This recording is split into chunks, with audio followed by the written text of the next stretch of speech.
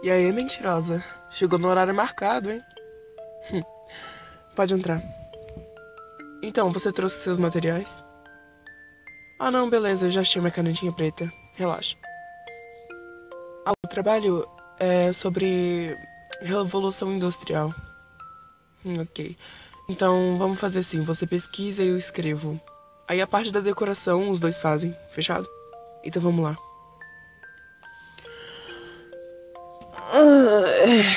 Ok. Agora só falta decorar tudo.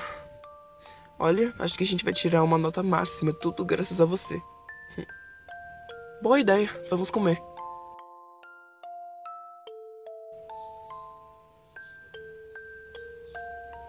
Hum, aleluia. Posso perguntar uma coisa?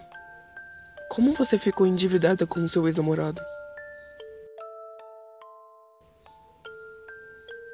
Puxa, que merda. Tudo bem? Perdeu alguma coisa no meu rosto? Admirando?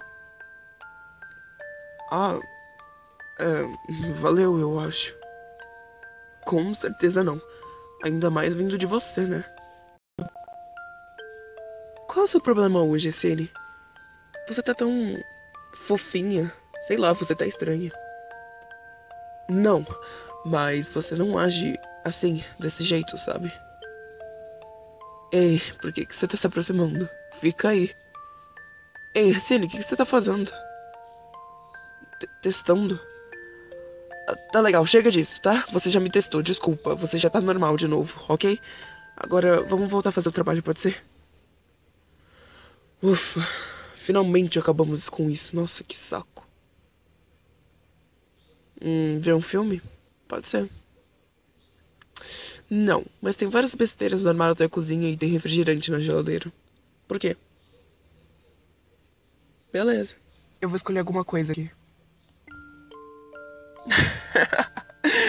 Você viu que o cara. SN? Vixe, ela dormiu.